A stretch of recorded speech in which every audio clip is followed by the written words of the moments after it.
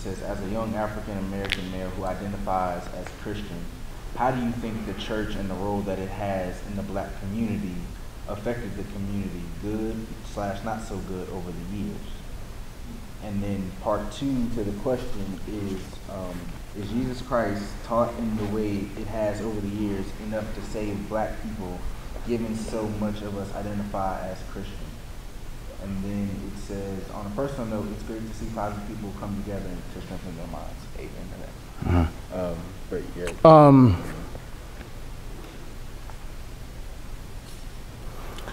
as a young African American male who identifies as Christian, how do you think the church and the role that it has in the black community affected the community?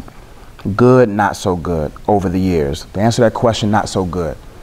Um, there's something happened, and, I can speak to the black church, I can speak to the church at large, is that we have been distracted from what our purposes is supposed to be. We build cathedrals more than we build shelters. We build campuses more than we build people.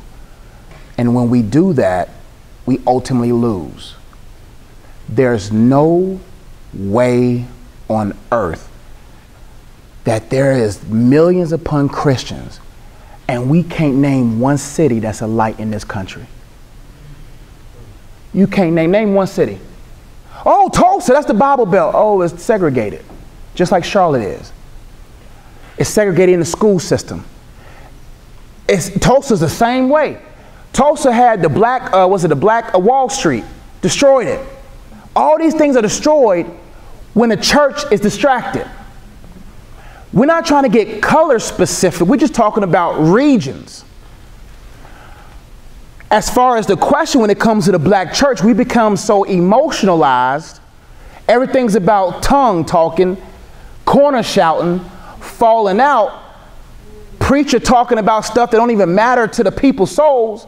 Everything's about tithing and putting money on altars than it is about making and building people.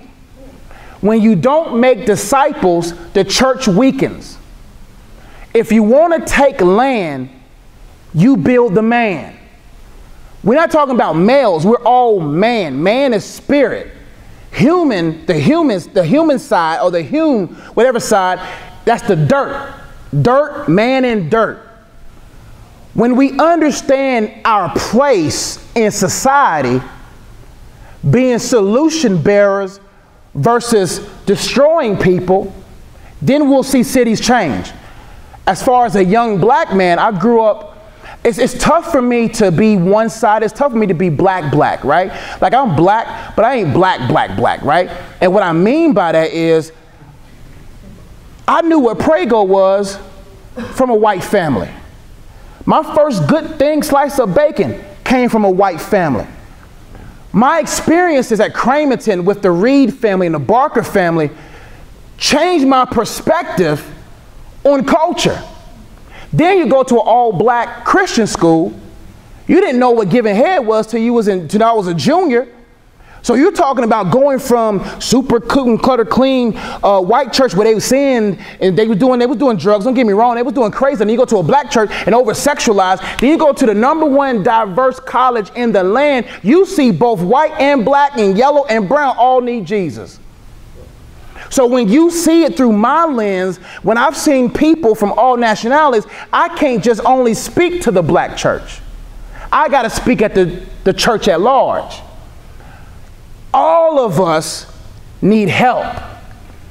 You got one side of the fence that's oh, so intellectualized, they don't believe in miracles, they don't believe in healing.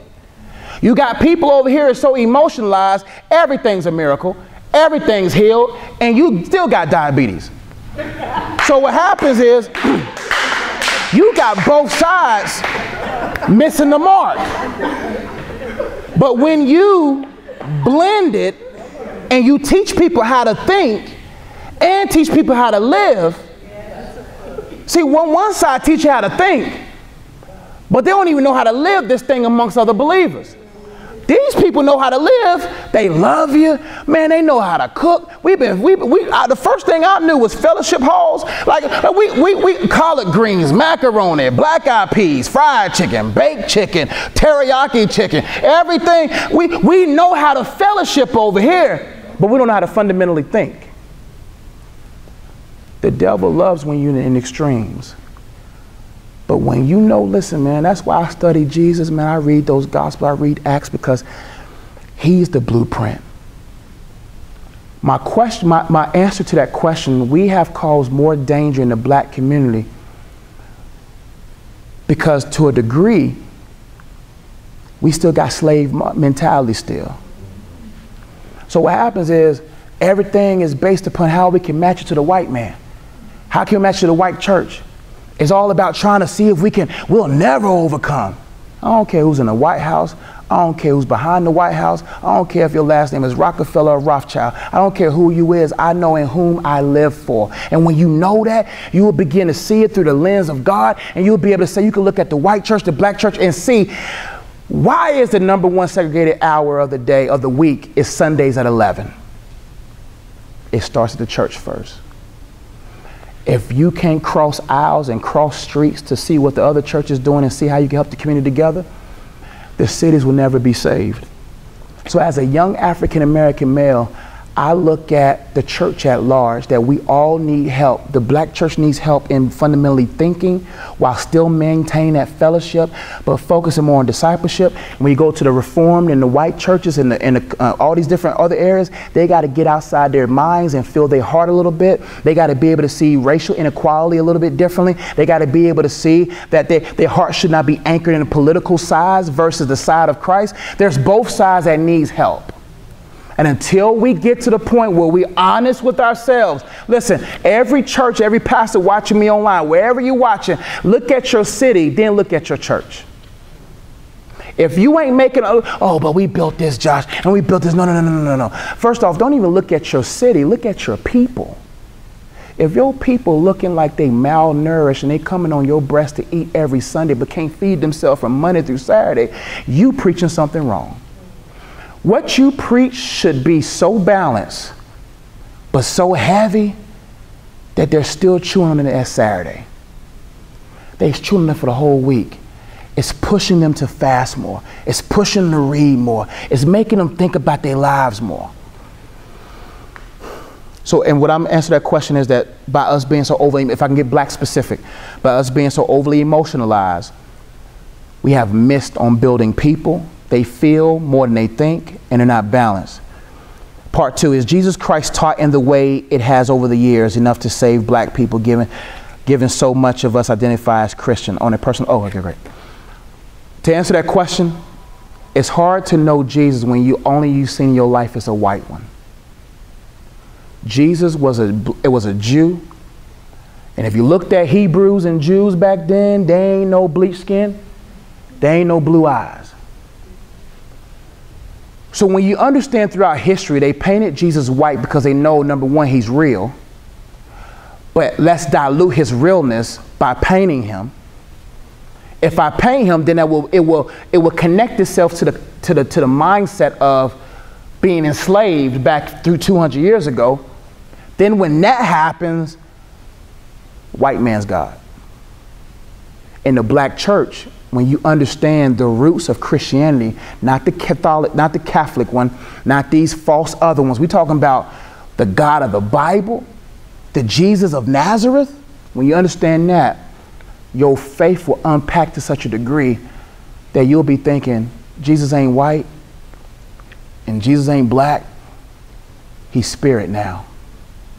And he wants to dwell in you and your black skin and your white skin and your yellow skin and your brown skin, he wants to indwell in you. As far as Jesus, it can't be something that you see practice. It has to be something personal. Jesus does not always reveal himself the same way. The same Jesus, a different revelation. Not revelation in text, we're talking about revealing himself. He know your sin. That woman at the well didn't know he was gonna clap back with five husbands. She was like, oh, come see a man who told me all about me. told me, told me about Jim, told me about Mark, told me about listen. God always tell you about yourself in the most loving and gentle way. You love me, but you really don't love me. What you mean? You right, I don't love you. God always says, look inside and you'll be able to see I just told you about your sins, but I'm in the heat with you right now at this well. I came all the way out here to tell you the truth in a gentle way. Hope that helped. The church has been messing themselves over because of the wolves in sheep's clothing. There are pastors right now who ain't who never been with God preaching because their objective is to separate the sheep, confuse the sheep, and when you don't understand how to cook this thing for yourself, if there was a Bible here, cook this thing for yourself, you'll be entertained. Just because the churches are big, don't mean they serve the biggest God. And when you and when you, everyone thinks success is about numbers with a God who walked around with 12. We thinking, oh, you blessed because you got 5,000, 50,000 people. God said, I'm blessed because I'm building 12. And that 12 can give me 12 billion. He can see that's why when you start small, you won't despise the days of your small beginnings. You'll say, God, even though my beginnings are small, I still got a big God with me. Numbers mean nothing to God. The quality of those numbers mean everything. Of the churches got 20,000 members and 100 saved people. Those numbers don't add up anywhere you dice them.